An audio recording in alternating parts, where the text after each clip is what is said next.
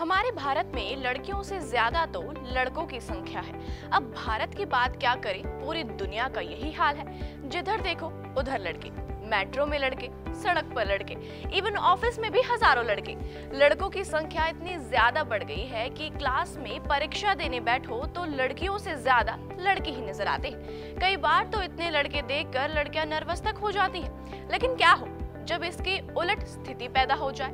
क्या हो, अगर सौ लड़कियों के बीच एक लड़का फंस जाए, वैसे आप सोचिए क्या हो सकता है। इतनी लड़कियों के बीच अगर कोई लड़का फंस जाए तो वह लड़का नर्वस हो जाएगा, जो ज़ाहिर सी बात है।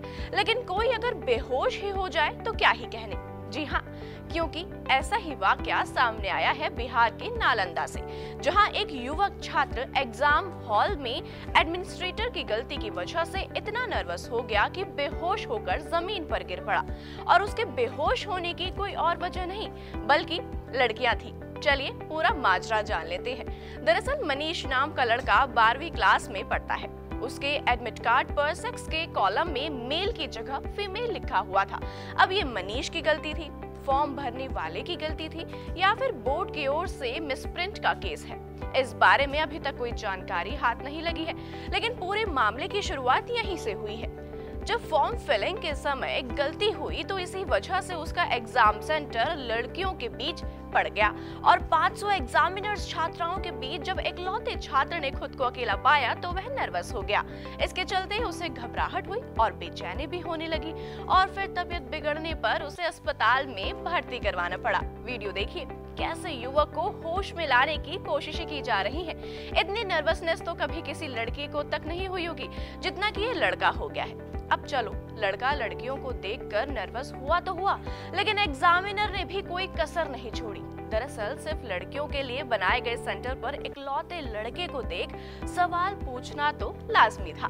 इसलिए हर एक फैकल्टी लड़के से सवाल पूछते कि, भाई, तुम यहाँ कैसे आ गए? जिससे लड़के की हालत और ज़्यादा बिगड़ी और वह बेहोश होकर गिर पड़ा। अब इस पूरे वाक्य पर मनीष शंकर की चाची का क्या कहना है, वो भी सुनते जाइए।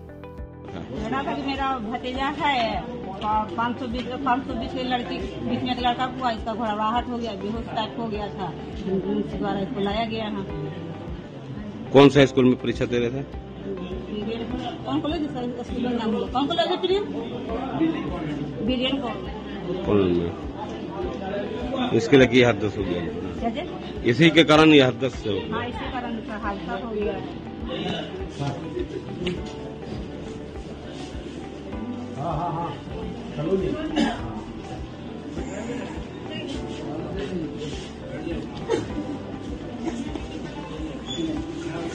ऐसे वाक्य हज़ारों में से एक होते हैं। वैसे देखा जाए तो किसी की हालत पर हंसना तो नहीं चाहिए, लेकिन क्या करें जनाब? हम भी इंसान हैं, हँसी आ ही जाती है। तो ऐसे ही वीडियोस को देखने के लिए आप जुड़े रहिए जेबीटी लाइव के साथ। नमस्कार।